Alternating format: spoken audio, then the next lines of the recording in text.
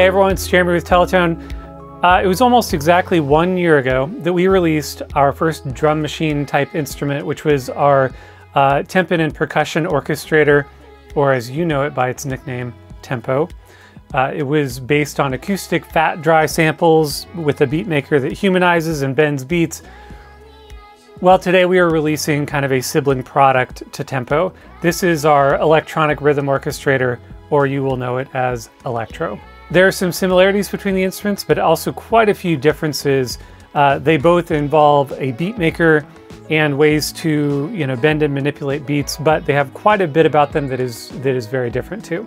To make this instrument, we sampled some drum machines, some of the greatest drum machines of all time, uh, an 808 and 909, the LinnDrum. We made some of our own samples out of a Moog DFAM and also a Juno 60.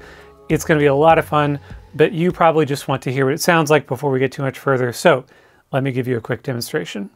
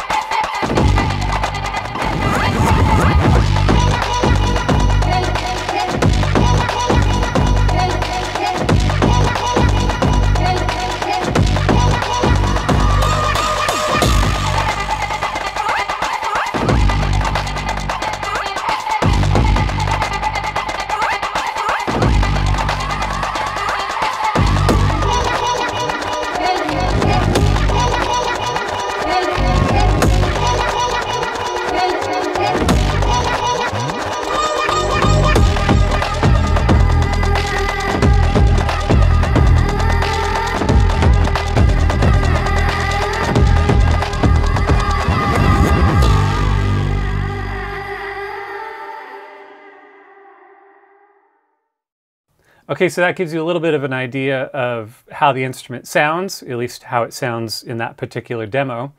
Uh, let's do a quick overview of the instrument before we dive in deeper.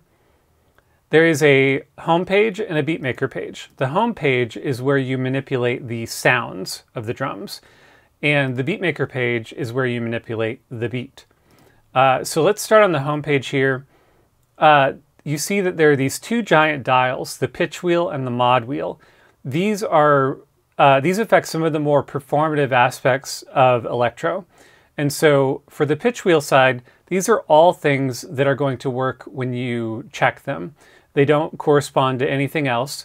Uh, everything on the mod wheel is going to correspond to a lane in the beatmaker page, uh, we'll, which we'll dive into in a little bit.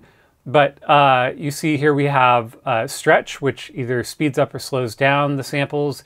The speed will switch to half or double time with the beat. Chaos, uh, you'll just have to hear it. Filter uh, activates a high or low pass filter uh, depending on which way you turn it. Reverse introduces some kind of reversed samples. Um, when you use the pitch wheel and kind of gradually turn it down, you'll hear some reverse samples mixing in with the forward ones. Uh, velocity controls the velocities. Feel corresponds with the feel lane. Uh, when you drag the hits down, uh, it makes them a little bit late, or you can push them early. Spread affects the panning, tune affects the tuning, and decay affects the decay. Uh, we'll get into that a lot more deeper a little bit later. Uh, next down, you'll see there are a bunch of different effects that you can use. Uh, there's saturation and distortion. You can use a combination of these when you select them. And then we have uh, these effects, the flanger, phaser, and chorus, kind of your modulation effects. These are also additive. You can com combine them, uh, stack those effects if you want to. Uh, here is a filter. If you just want to affect the filter for the whole instrument, uh, this is where you could do that without using your pitch wheel. Uh, the reverb, this is not additive. You would uh, be selecting one of these, and there's a few different options here. And then we have swing. And turning this up or down is going to make the beat swing. There are some options here to do a quarter note, eighth note, 16th note, or 32nd note swing. Uh, if you're not sure what to do, 16th note is probably what you're looking for by default, but mess with the other ones too. Down here in the kit selection is where you're going to select your kit. By uh, default, I think it's going to pull up the 808 kit, but there's a whole bunch of other ones that, uh, that you can look at. Uh, I'll let you look through those yourself. And we'll, we'll hear a bunch of them a little bit later on. Uh, song key we'll also talk about later on because that won't make a ton of sense until we get into some other aspects of the beatmaker.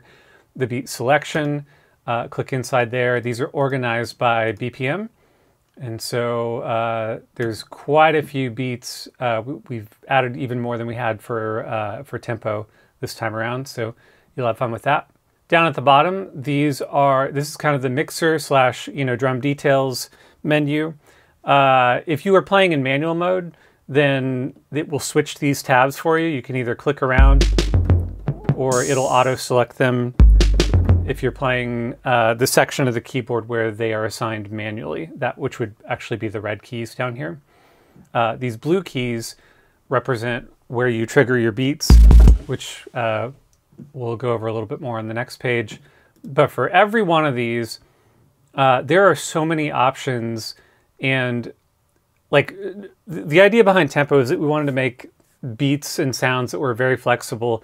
We found that with these drum machine samples, they are incredibly flexible and versatile. Like it's it's very easy. You can make toms into a kick. You can make your kick into a hi-hat. There's different ways to edit these. And I would strongly, strongly encourage you to dive very heavily into the drum details turning up the attack all the way, the decay halfway down, messing with the tuning, you're going to get some really interesting sounds. Uh, we've, we've tried to showcase that in a lot of the demo beats. Uh, so always keep your eyes on the drum details whenever you're looking through some of our beats, because sometimes you'll you'll think, sounds like I'm hearing a pad. How is a pad playing in this instrument? And it'll be like a reverse cowbell with a uh, slow attack, long decay or something. So um, make sure to keep an eye uh, on those. You will also notice uh, if, if you were someone that bought Tempo, there's a few new things that uh, are different this time around, uh, such as the kick and snare. You can layer different sample options uh, and swap them out. Um, this, this is really, really fun to mess with to make custom sounds. You see on this one, we have a combination of an 808 snare with the Juno snare that I made. Lots of fun stuff in here, but I uh, I'm supposed to be moving quickly through this. So let's uh, take a quick glance at the beatmaker page. This is where you're going to make your beat. Uh, the way you do that is just add hits, you know, with your mouse. You can you can drag the mouse to to fill them in. Uh, there's a play stop button if you want to kind of listen to the beat that you're working on. And uh, if you're new to tempo and electro, uh, these up here are different measures. They're kind of variations on the same beat. And though you can switch between them by playing legato, and it, and it won't skip a beat or miss anything.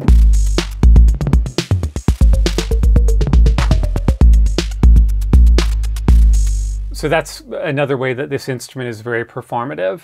Uh, I usually left eight blank for a couple reasons. For one, it's kind of nice to have a blank in there in case you want to add like a stop in the middle of your beat.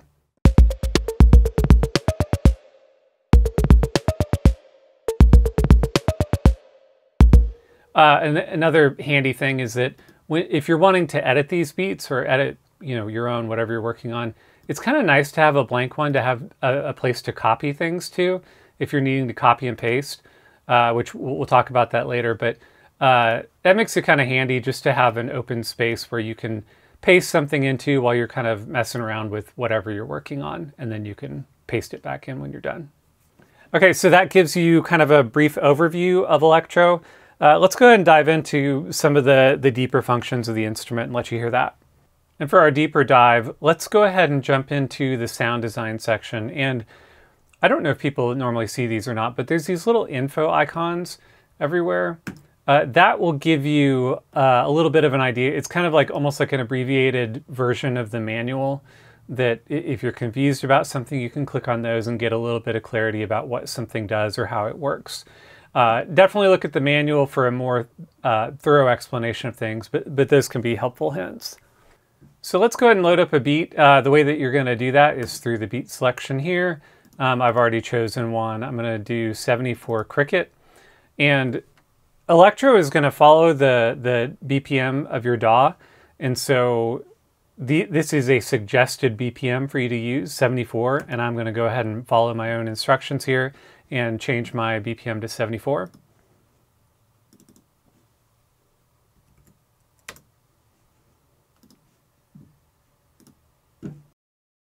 All right, let's just hear what this beat sounds like.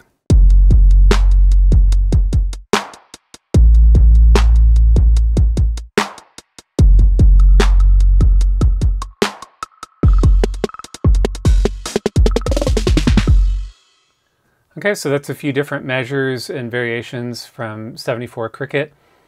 Okay, let's look at some of the pitch wheel functions. And again, these are things that are going to just operate on their own. You check the button and you will hear, uh, and turn the, the pitch wheel and you'll start to hear a difference in the sound. Stretch, this is going to stretch and contract the samples.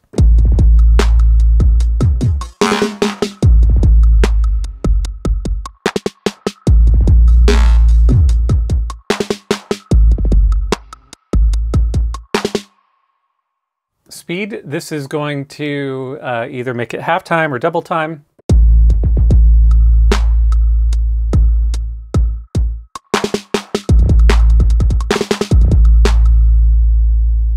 Uh, chaos, this is going to add some chaos, like a little glitchy effect.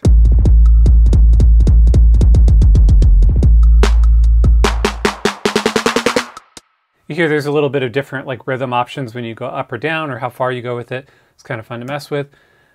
Uh, filter, this is going to do a high or low pass filter. Uh, reverse, as I mentioned in the intro, this is going to add some reverse samples that you can mix in.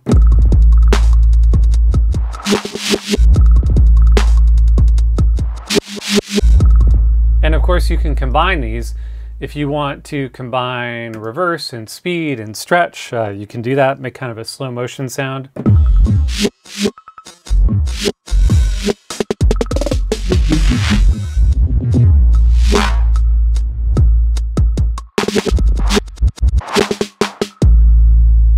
So a lot of different combinations you can do there. All right, over here for the mod wheel, like I said, these are going to correspond with a different lane.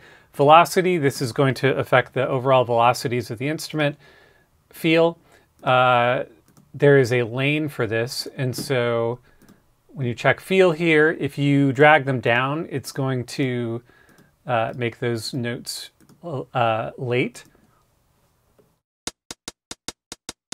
You can hear how it's kind of swinging now. Uh, you could, you know, straighten those out by moving the mod wheel.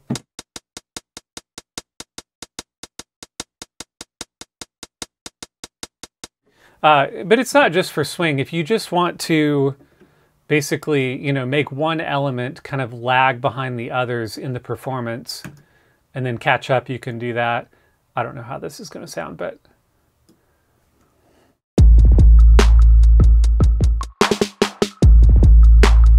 you hear how it's kind of dragging. Um, now could be actually a really good time to also mention that you can copy and paste any of this feel information. If you wanted the whole beat to drag like that, you could just copy those into the feel lanes.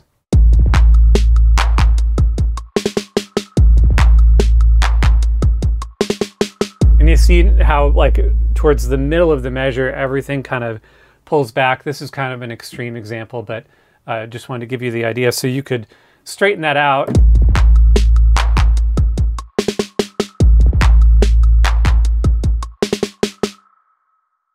And so this is, again, why we're you know calling it a performative instrument.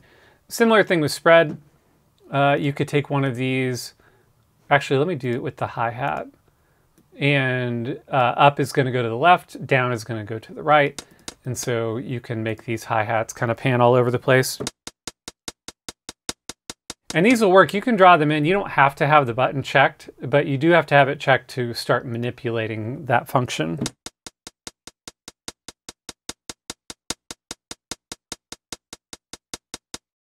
So now we'll unsolo this.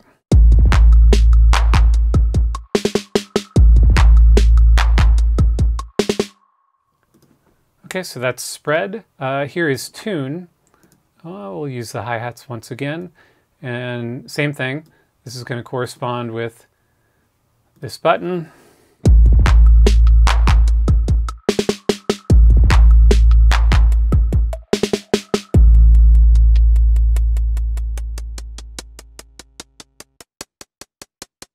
so you can hear that pitch changing.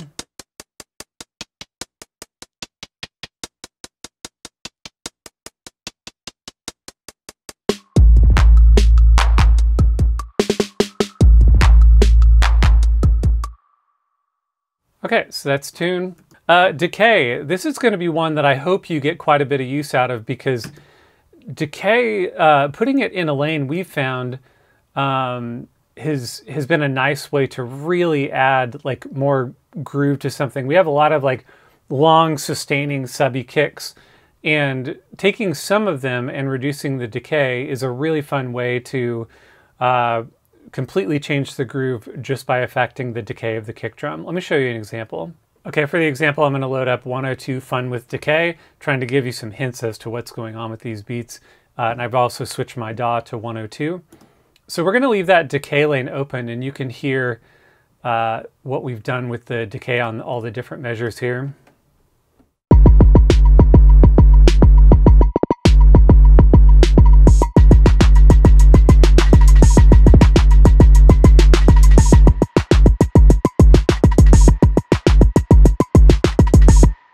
So I hope you take full advantage of that lane because there's really uh, a lot of interesting things you can do with the groove if you if you start messing with that, especially uh, on the kick drum. And before we move on down to the kit selection, song key beat selection, uh, it's probably be a good time to also show you how swing works. I mean, it, it, there's not much to it. It uh, you pick what you are wanting to swing, then turn it up. I'll just let you hear it a little bit.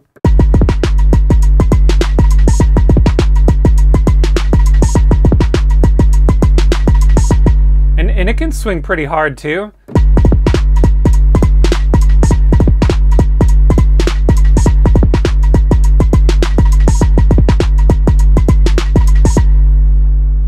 Um, and we are on the 16th note swing, uh, in case you wanted to know. All right, let's go ahead and move on down to the kit selection and beat selection. I kind of want to talk about these together in a way because we've kind of been just blown away at how much the beat can change with just uh, changing the kit selection because more so than maybe uh, uh, with acoustic drums, with these electronic drums, it changes kind of everything about the way that the beat sounds depending on what you choose.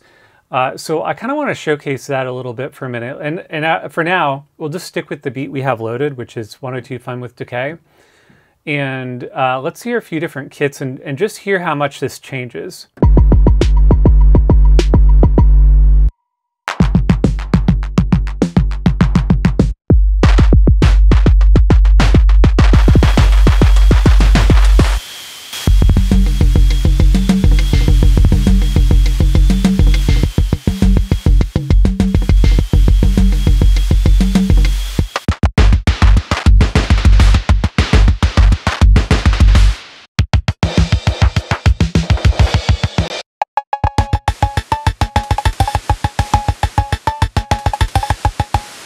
Our little Casio kit.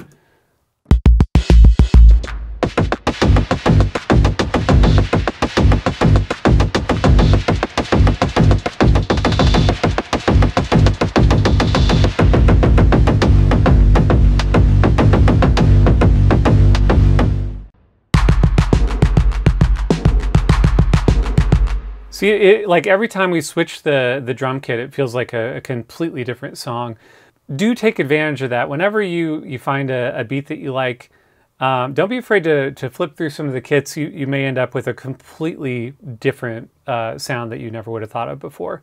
Okay, so as you can see, all of our beats are kind of tied to a kit and a, and a sound design scheme as you load them. Uh, a lot of these things can be locked if you like how you've done your sound design for your beat or you like how we did our sound design on a particular beat. You can always lock that. Um, you could also, once you have a kit that you like, you can lock the kit and switch the beat. And I won't spend too much time talking about each individual kit, but I do want to talk about just a couple of things uh, in the factory kits. So this is our 808 kit. Uh, we, we sampled our own 808. I actually have it sitting right here. Uh, if you've never owned one or rented one or played with one, it they are so much fun. Honestly, it's it's funny with all the bright colors and plastic tabs. It almost feels like a toy. It's kind of lightweight compared to like the LinnDrum, which feels like it weighs like 30 pounds. Um, it's a lot of fun to mess with, and I think it's worth mentioning that if you've only heard 808 samples through, you know, uh, through Splice or, or, other other places, the 808 has kind of just become this generic term that almost has no meaning at this point. But an 808 is an actual drum machine with actual sounds, even though you know people just call any subby kick, they call that an 808. It's almost like people have decided that 808 means bass more than it means kick drum. But on the original machine, it was supposed to be a kick drum. And we uh, we sampled ours in several different ways. We actually sampled the 808 and 909 uh, with uh, eight round robins because these sounds are internally generated, and every round robin that you record is going to be slightly different than the other one. We recorded the accents. You can access those by just pushing anything all the way up in the in the beat maker. That will give you an accent. And for the 808, 909, and uh, LinnDrum, we actually recorded a bunch of different iterations of each sample. Uh, for example, on the kick drum, the way it loads, it has no markings by it. This is run through my Shadow Hills preamp on the iron setting, and uh, sounds like this. When you lay into it, you can hear that accent. Uh, we also record it through the discrete setting. This is a very subtle difference, but I think it's interesting. And then there's some different hardware processing that we did. We um, actually ran some of these through uh, cassette tape. There's this broken cassette. There's also a cassette overdriven we really push the input on this uh, old Tascam tape machine that we have. Um, there's also uh, a this this one is where we clipped the the preamp on the Shadow Hills. Then there is a one inch and two inch tape iteration of this.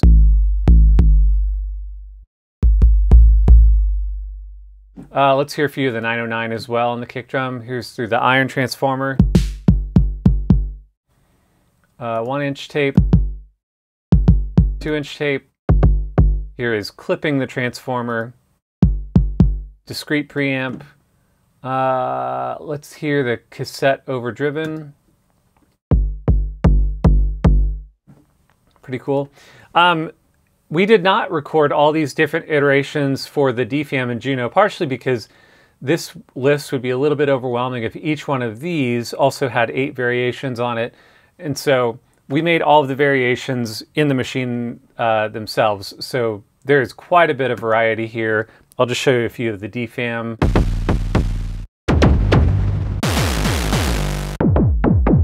Just showing you a very different side of like what you can make with Electro. One that I used constantly when I was making beats is this DFAM sub. Uh, I'm sure that sounds amazing on your phone. Uh, there's, this one has a little more noise added to it. Th this one I use quite a bit too. Let's hear, let's go ahead and hear some of the Juno. Uh, the reason we, we did the DFAM and the Juno as well, we started off thinking we were just going to do drum machines, and we thought it would add so much to this instrument if uh, if we added the option to use drums that were made from a synthesizer, a, a vintage synthesizer, and also like a modular drum machine. We thought that would just add quite a bit. And so we ended up sampling the DFAM and the Juno. Um, let's hear a few of the Juno now.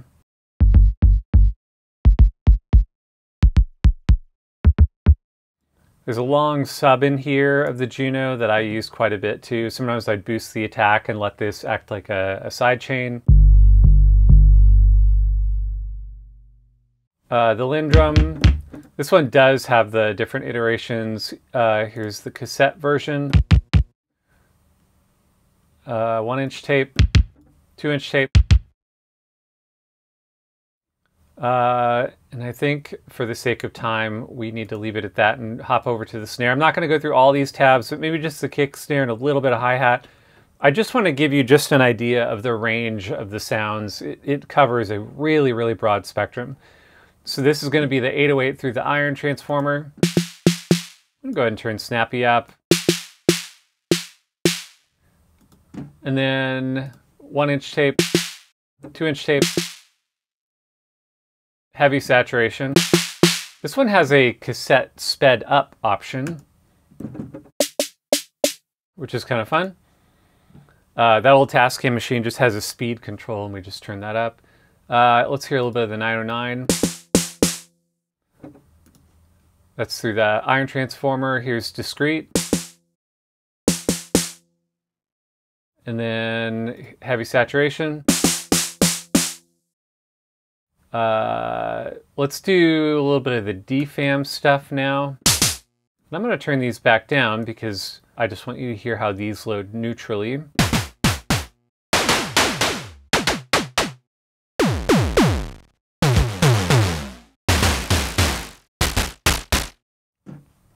Let's hear a little bit of the Juno. There's a super fat one that's fun. We can get a lot of really great synthwave sounds from this uh, this Juno these Juno snares. And then let's hear a bit a little bit of the LinnDrum too. It's a one inch tape. Let's hear heavy saturation. Really, really cool. Uh, and then briefly, just a few of the, the hi-hats. Here's the 808.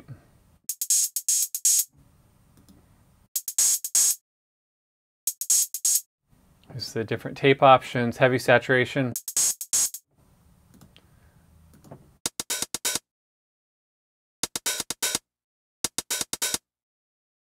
Uh, and then the DFAM has some really interesting stuff in here.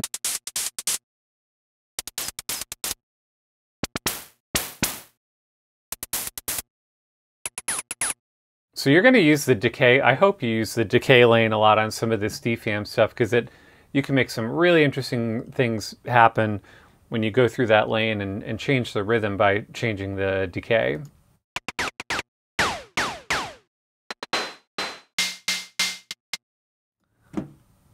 And then uh, let's just hear a little bit of Juno.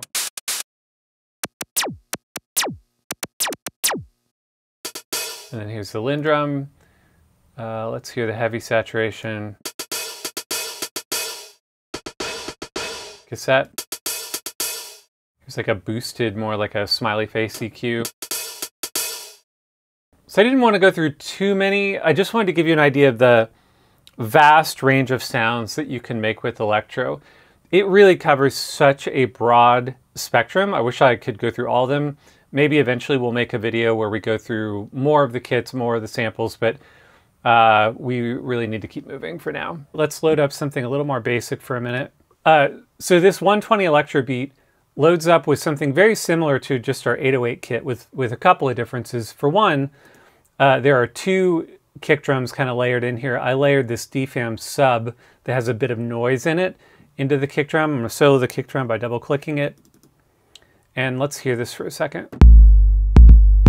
So I'm going to uh, blend all the way over to the 808 for a second. We have a little bit of effects on here already. You can see that uh, we have distress turned up a little bit, have a little bit of distortion. I don't think there's any of these, any modulation effects on this one. A little bit of filter happening. And then as we go over to this side, we get more of the DFAM sub noise kick drum.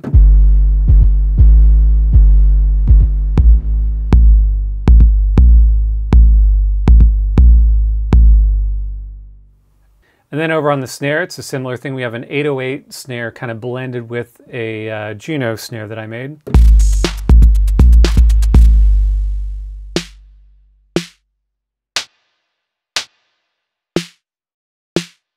But if you wanted, uh, if you wanted to just hear this beat with a pure 808 kit, uh, you could go in here under factory kits and load up this first one, 808. And now you'll see that there's nothing on this other tab. Um, I say it's a pure 808 kit with a couple exceptions. Um, there is no crash for an 808. They have a ride, but not a crash. So we've subbed in a different one rather than just leaving that blank. Uh, in the percussion, there's the 808 clap, clave, maracas,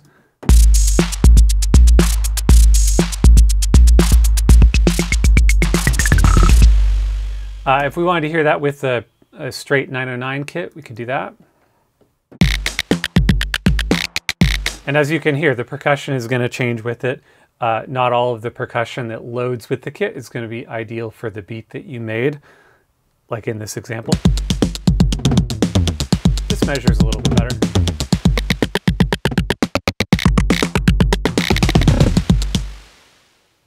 And then if you, yeah, like I said, if you wanted to lock that kit, lock the sound design, if you had added something, then you could always flip through the beats. Similarly, if you did not like what was happening with the sound design, there's a way to reset that in the cog menu, and that would be reset sound design. Now it's going to be back to the defaults. If you want to restore the beat to the original settings that that had, uh, then you would just click away from it and come back to it, and it's going to load as intended. So if you if you start messing with one and you don't like where you ended up and you don't remember where you were, uh, you can just flip away and come back to it and uh, it'll, it'll still be there. And in case it wasn't obvious, uh, if you want to load up a kit and then swap out any one of the samples for another sample, there's actually a bunch of ways you can do that. We've just tried to make it whatever you're going to develop your own workflow. I've developed my workflow, how I you know change things, but uh, for the kick and snare on these tabs, you can click on them to kind of open a uh, browser window. So if you're like, I just want to see all the 808s or 909s, then you can do that by clicking there. You can also do it by clicking here on this browser window. This is another place that gets you to the same location. Or if you want to just see all of your options all at once, then you can click here.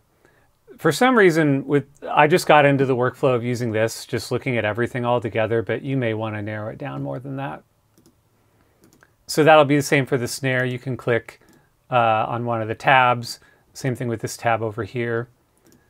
Uh, you could load up none if you don't want a sample loaded over here. And then the rest of these will just have the two options of clicking here in this menu, in this menu window, menu window, uh, and then the browser window opens up right here. Over on to the percussion tabs. Uh, all of these are going to have the same options, but we made three lanes in case, you know, in case you're using a conga or something, you want a low and a high and then a tambourine or something else, you can do that. Uh, the toms are actually, in tempo, we had high toms and low toms, but with these being electronic instruments, these are going to load up the same options for both of them, and then you can choose which one's high, mid, or low. And while we're on the topic of kits, uh, you can make your own kit. You just click through these, select whatever samples you would like to use, and then go up to the utility menu and click Save Kit As. This is called My Kit. You're welcome to use that name if you want. My Kit. And then now, when we go into Kit Selection, go to User Kits, there is mykit.nka, and it'll load just as you saved it. So as we're moving into getting a deeper dive of the drum details section, uh, I'm going to let you hear a lot more beats because that'd be a good way to keep an eye on how I was kind of using these controls and maybe give you a few ideas of how you might want to use them. So you will hear a bunch more beats uh, as we move into the drum detail section. One of the things we had to figure out early on with this instrument was how do we make these drum machines all kind of live in the same interface when some of these controls do different things on different drum machines? Like the tone knob on the kick does something different than the snare. And on the snare, the snappy knob does different things on the 808 than the 909. And how much do we want this thing to change as you're flipping through, you know, different samples?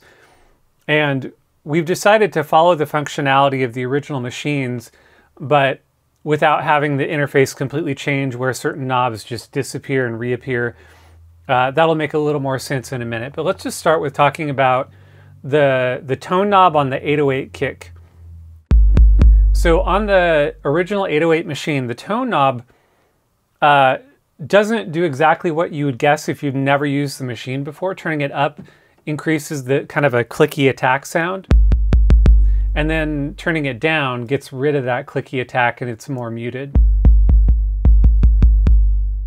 This is what we based the rest of our kick drums on, like the, the ones that we made from the, the DFAM or the Juno.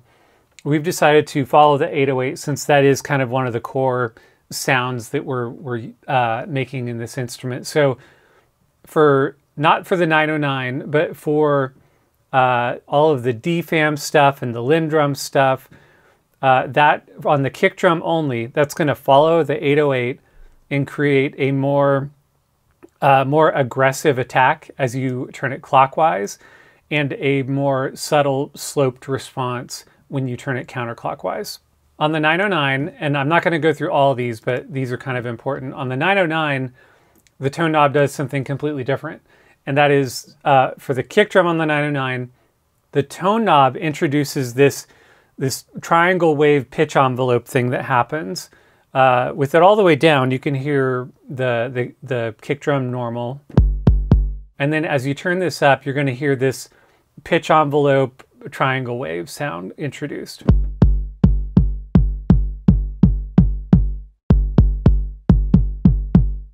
And that will only be that way for the, the 909. Uh, it, there's no other kick drum in here that's going to function that way with the tone knob. I'm not going to do all of them, but let's just go ahead and look at DFAM sub real quick to show you how the tone knob works on most of the rest of these kick drums. So turning it up is going to increase the attack sound, and then turning it down, it's going to be a lot less attack. And so once again, yeah, that follows the functionality of the 808. Snare drum. So turning up the tone, well, actually, I'm going to turn down snappy all the way so you can hear this. The 808 snare kind of has two different uh, tones happening when you turn the tone knob. You hear these two different octaves of these little, almost like a tom sound. That's what tone knob does. And then snappy increases the amount of white noise snare sound that's introduced.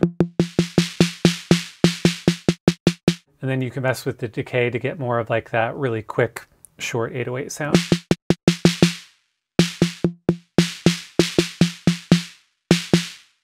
This is very different than how the 909 uh, snare drum works. Let's go ahead and load that up.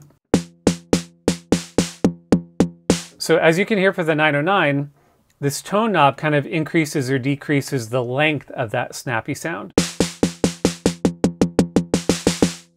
And then turning the snappy all the way down decreases the volume of that sound.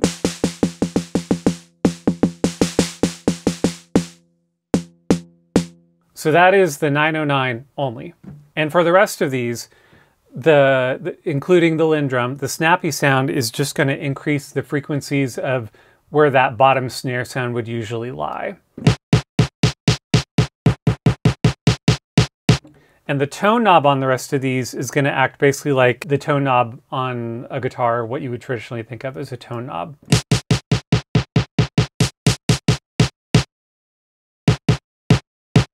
and that's kind of back to neutral. It would be the same thing for all the DFAM stuff.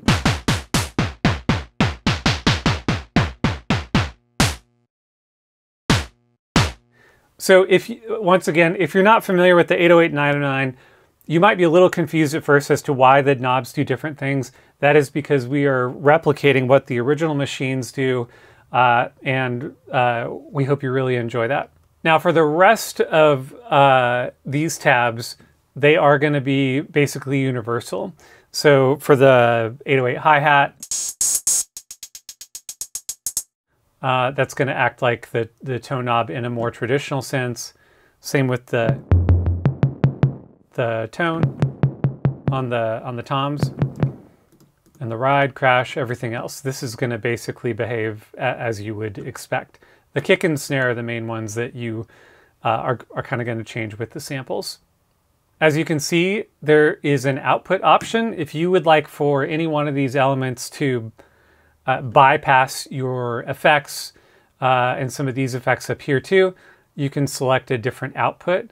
There's also an effects bypass if you just want to bypass the effects but don't want to send them out to your DAW separately. Uh, you can click that.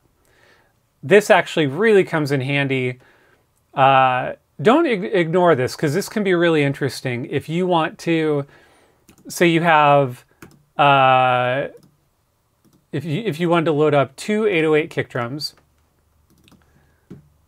and you wanted one of them to be completely squash, you could crank up the distress. This one's going to be completely leveled out, and it's going to increase that sustain. Uh, and then you want to take this other one and bypass that. You don't want it to get squished And so you could, you know, uh, either increase the volume or increase the low end and then uh, blend the two. And now you don't have to worry too much about you losing all of your low end from the effects. That's a really effective tool. It's a, it's a really useful tool. And I would encourage you to use that. Uh, definitely play around, uh, around with the, the, the layering for the kick and snare. It, it's, it's a really special function, and as we get into the beats, you'll hear kind of how we've utilized that.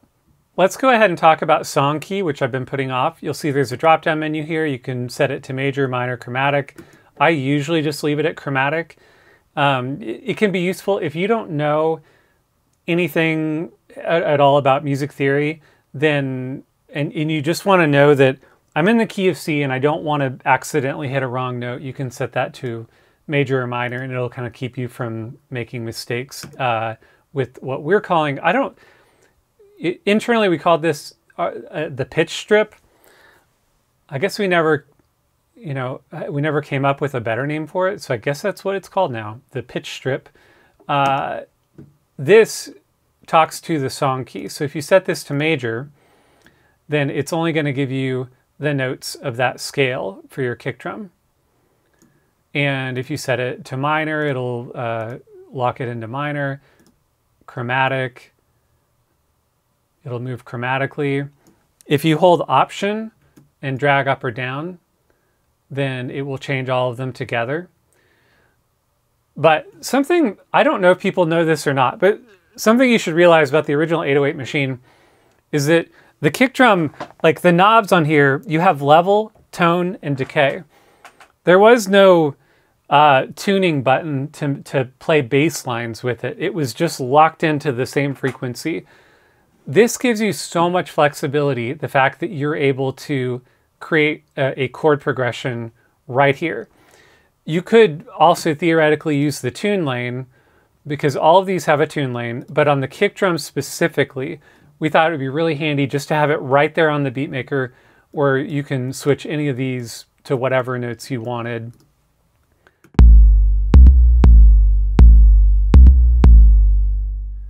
And while we're on this subject, this would be a good time uh, to mention that there is also a tune knob. This is a fine tune knob on the front here.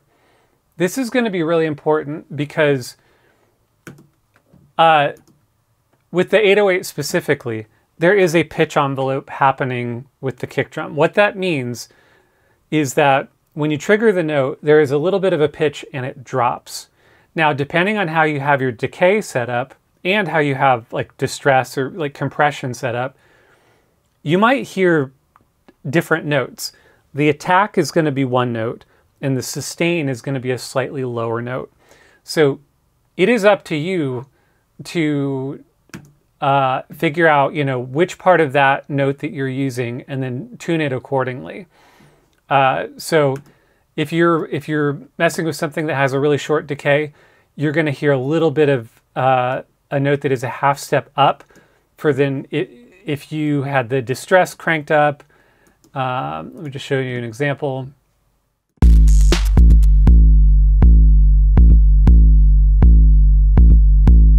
You hear how it kind of sinks in the pitch. If you had this decay turned down, you'd mainly be hearing the attack and it would sound like a different note.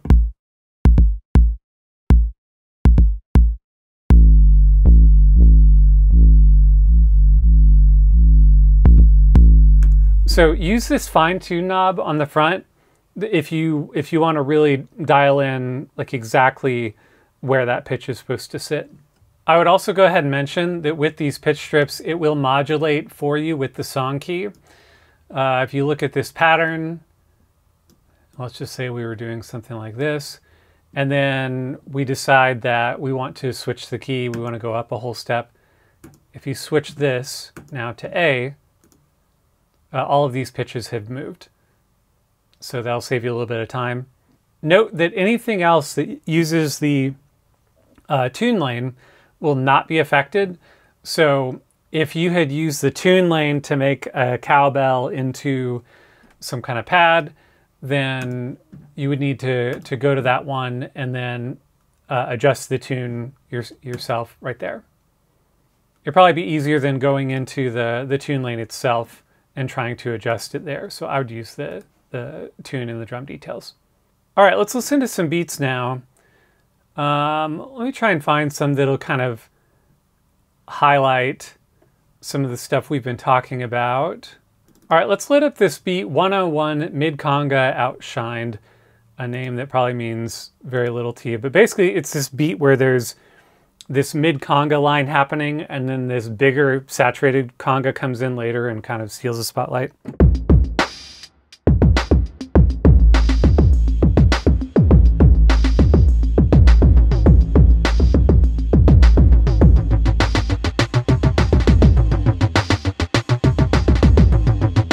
So this is a good example of showing you how anything, almost anything can be almost anything else. So this low conga, I'm using the heavy saturation uh, LinnDrum iteration of it, almost sounds like a, a funny little like bass patch that you hear.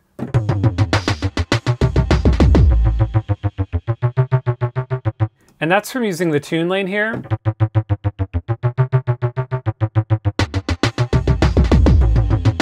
A little bit of decay here to kind of affect like how uh, how short the note is. And then uh, I also have the decay turn, or sorry, the attack turned down on this one as well.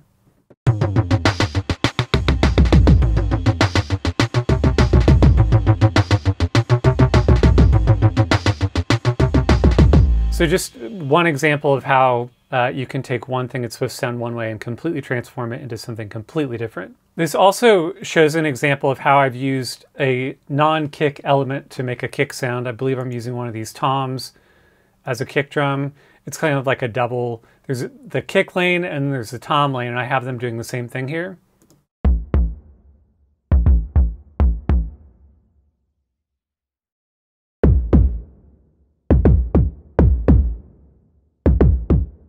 And then played together, here's how they sound.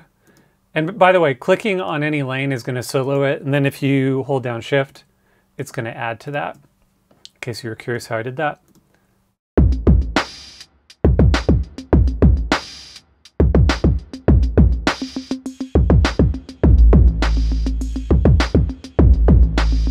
And then you could hear another example of how we're using decay uh, in here to affect the sound of these two bass drums.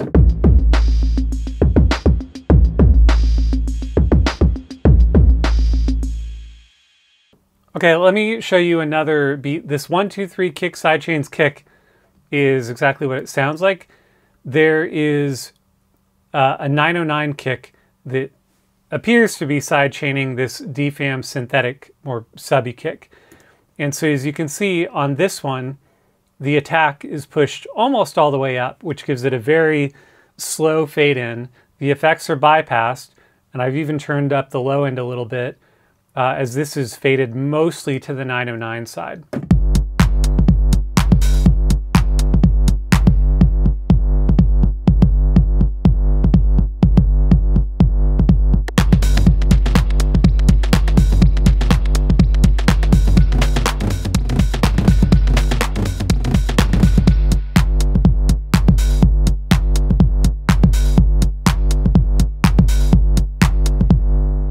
So that's kind of like another built-in tip and trick that I would say is, uh, yeah, taking two kicks, layering them together, bypassing the effects on one, turning the attack all the way up and making a sidechain out of it. Really fun to do that.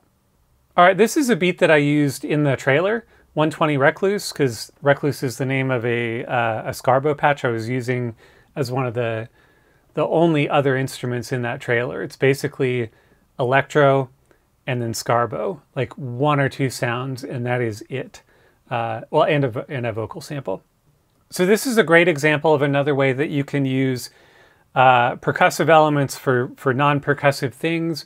In this one, I ended up using uh, this high tabla for uh, a pad. And the way it goes in the trailer kind of starts with this simple beat.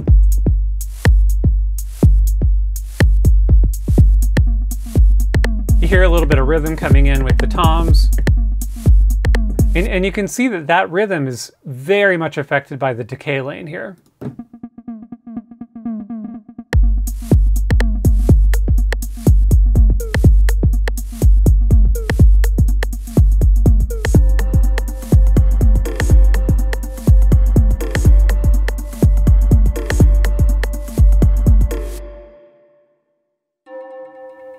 So it sounds very pad-like, turning the decay way up and then uh, also turning the reverb almost all the way up. And then the change in that chord is done in the tune lane.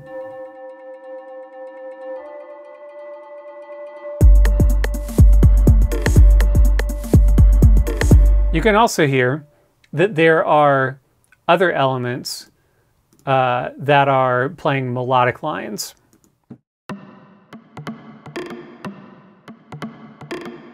I believe this one might be playing off of the tom line.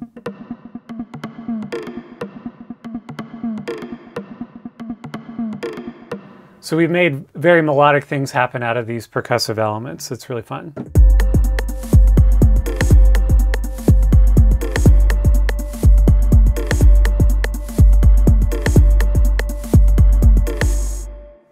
So again, this is just getting new sounds from just moving uh, knobs and the drum details. Really, really fun. All right, let's just look at one more uh, to kind of showcase some of this drum detail stuff. Uh, let's load up 122 man, uh, Machine in the Man. There's also one called Man in the Machine. Uh, this one has some fun stuff going on with the crashes a little bit uh, later in the sequence.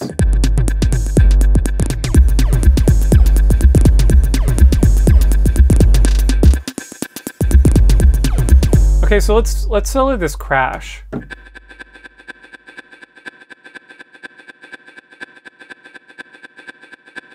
See how once again we're using the decay lane to to make rhythm. The decay is a really good way of, of doing that, even if it's on a crash cymbal.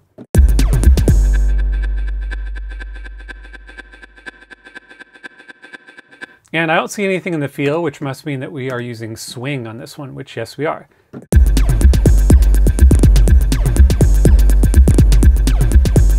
So we're using a crash that doesn't really sound like a crash. Tom sounds like a tom. A tom that sounds like a laser kind of like sound effect, little synthy sound.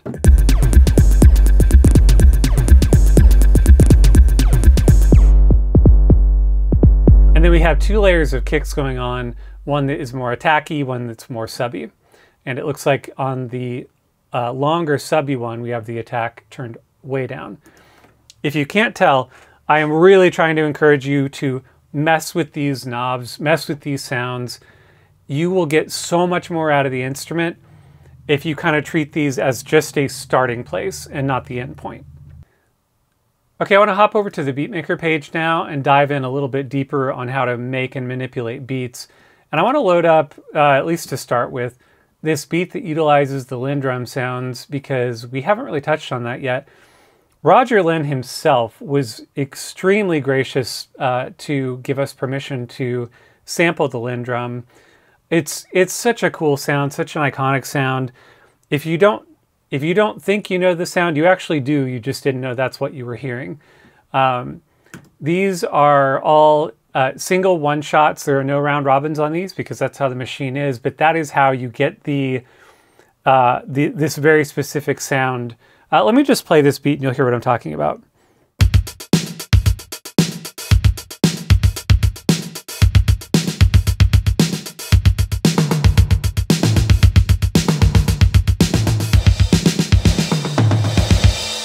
And this is one where I'm kind of making a, a, fake delay out of using the velocities here, but uh, this is the sound of the LinnDrum very iconic. Uh, Prince used this on a lot of on a lot of different things. Stevie Wonder did as well.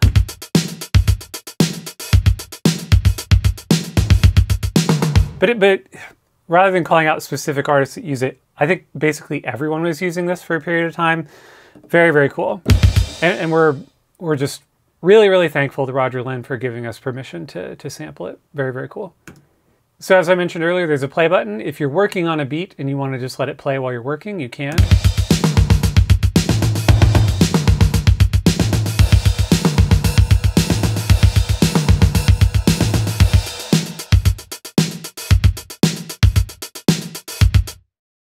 And I also wanted to mention the LinnDrum because uh, the LinnDrum is the one drum where the, the pitch shifts have no effect on it.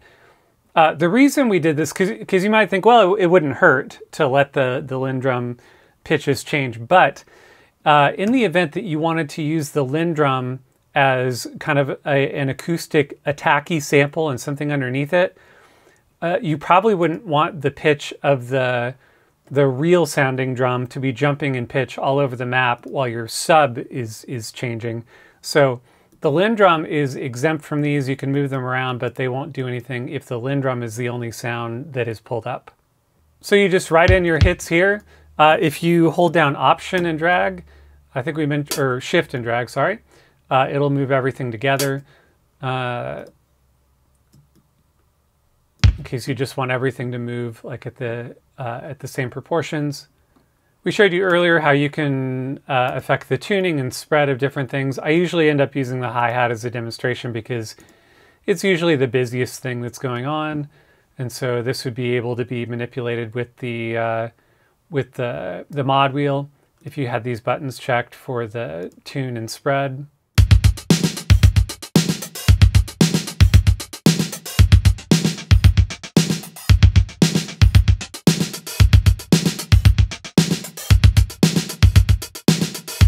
Uh, and then if you turn it all the way, turn the module all the way down and uncheck it, it'll reset it for you. You can change the number of steps by uh, dragging this wheel right here. You can change the number of sub steps by dragging up and down here. And then if you want to change the sub steps of the entire lane, then you just hold down Option and drag up, and then those will all move together. This is also where you would affect the hi-hat articulations. And as you change these dots here, it's going to affect the decay. Now, this is a little bit different than the decay lane because for some of these drum machines, it's actually going to be a different sample itself. So this uh, open sample is not just something with the de decay increased, it's a different sample, as you can hear.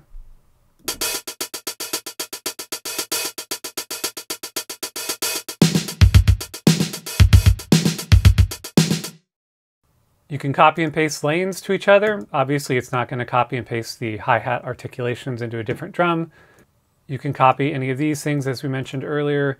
Makes it really handy. You can copy entire measures to other measures. That is through the utility menu. You would hit copy measure, and then you could paste that wherever you want it. You can reset lanes by using the reset uh, button right here. There are some presets here that are just kind of shortcuts. I use this a lot for hi-hats because a lot of times I end up doing 16th notes. You can randomize the hits on any of these and make a random pattern. Okay, so that's a little bit about how you make beats. It's, it's fairly simple. You're just going to be clicking in here uh, to add hits.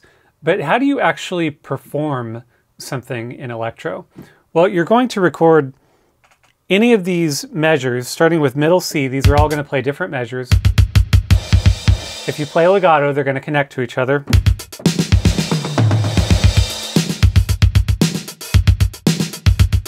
And then you're going to record it just like you would record any other uh, virtual instrument, which I'm going to go ahead and do right now.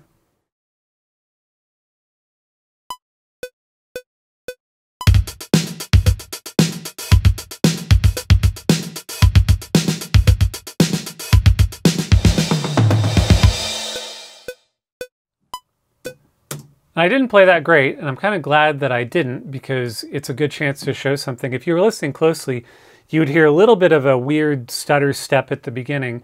Uh, that is the input quantize working. And so if you are late on something, it will catch you up. If you're too early on something, it will slightly hesitate and wait to kind of lock that in. Uh, and then afterwards, you can always quantize your MIDI if you want to. But as you can see, I was late on this note. And so we'll go ahead and quantize all of these. And then after quantizing, you'll hear it play it back uh, perfectly in time.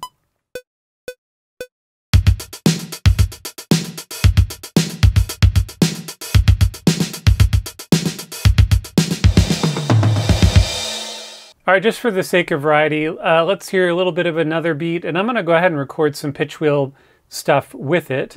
Um, I do the mod wheel too, but I don't know if I'm coordinated enough to like nail it in one take. So we'll just do uh, one wheel at a time for now.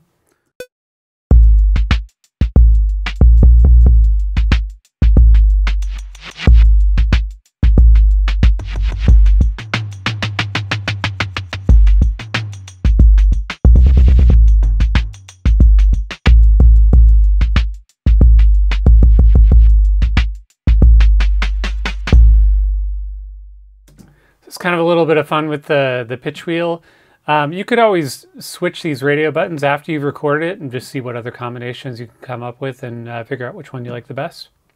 And before I forget, I want to talk about another feature of the Beatmaker mode that's kind of tucked away in the utility menu, uh, and that is drum machine mode. Let me initialize this and just reset everything back to the beginning. If you are wanting to make a beat that cl more closely resembles like a drum machine mode, you can go into what is called drum machine mode. And now there are like all of the steps that you do uh, will fill up the square all the way. So these are, um, so no more velocities in the steps. It will just fill them up all the way. And in case you want something that sounds just a little bit more mechanical, uh, that's kind of a, a nice hidden function. When you click on the steps, they'll go away. But this will just make everything sound a lot more uh, mechanical.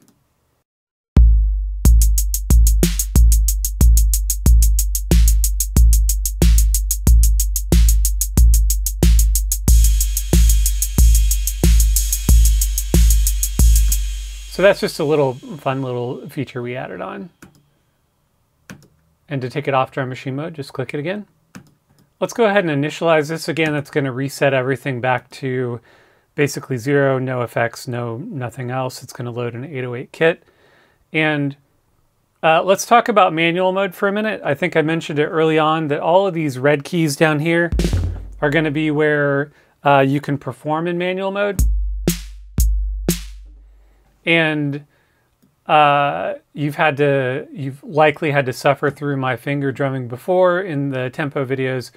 I am not going to spend much time on it because I don't want to embarrass myself, but it's important to note that you can play a beat in manual mode and then you can drag it into the beat maker and it will load all of the nuance of that performance, including like if you were late on things, it's going to maintain that humanized feel. You can also get rid of that easily through uh, checking the feel button and turning the mod wheel all the way down. That'll get rid of it. But uh, it will import your beat humanized. Let me show you an example. I'm going to play something very simple.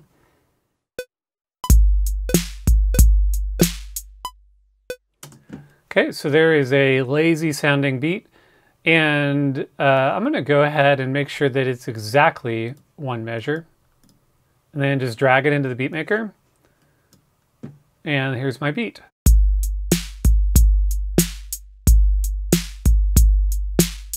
In all of its uh, humanized glory, if you look at feel, you're going to see how I was uh, a little bit late on everything.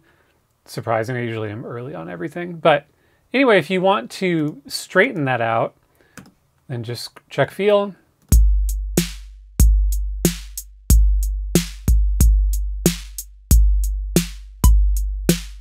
And that's how you do that. Um, you can also take any one of these beats and drag the MIDI information into your timeline in case you want to uh, move things around or edit. If that's your workflow that you edit things kind of manually in MIDI, you can do that. It's going to maintain the feel information from the feel lane. Um, it will also take the swing information with it. If you have a beat, let me hear what this one is. Well, this one's using feel uh, I can tell because swing is turned all the way down. This one's using feel to create that groove. And that will drag with it into your timeline. Just uh, hover over this MIDI icon and then drag it into your timeline. And let's listen.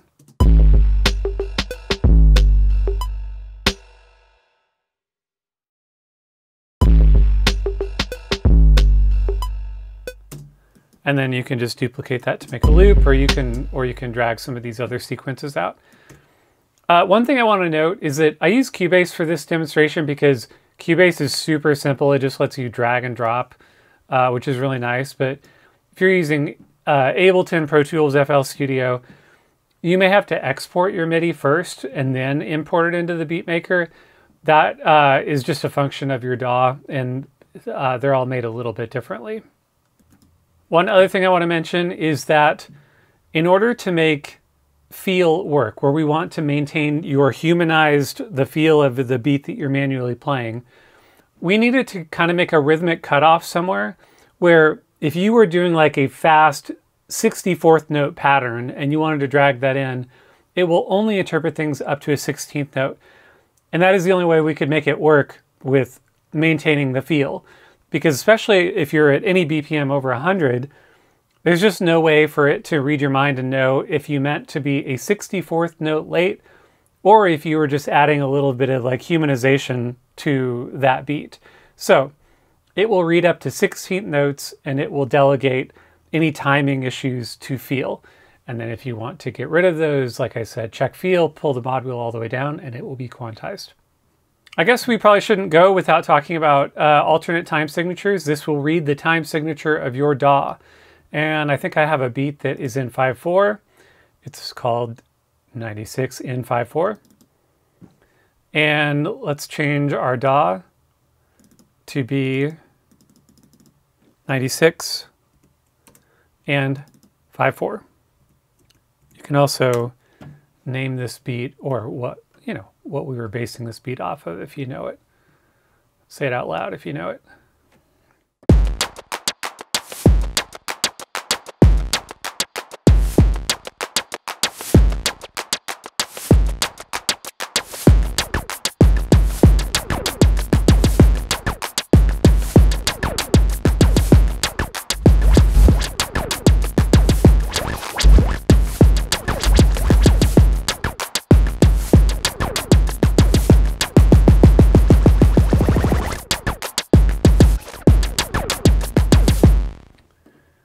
It's a little fun beat, and uh, I'm calling it 5-4. That's kind of like an online debate of uh, what to call this. If we're calling it 5-4, or 5-8. Um, anyway, yes, multiple time signatures. Whatever you set your DAW to, uh, this will sync up with it. Okay, I think that's going to do it for our walkthrough of Electro. We're really excited for you guys to get your hands on this. We had so much fun making it. We think it's a really fun instrument.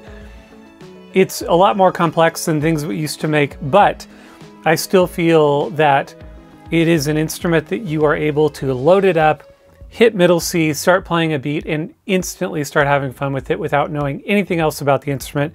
You could just hit a note, start playing beats, start switching between sequences, and you are off to the races basically. Um, follow us on Instagram, uh, Teletone Audio. Uh, sign up for our email list at teletoneaudio.com. That's where we always send you uh, updates, discounts.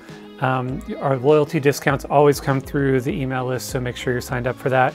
Thank you so much for supporting us and allowing us to to make instruments like this. It's it's such a pleasure, such an honor. Uh, we're really really excited to hear what you make with it.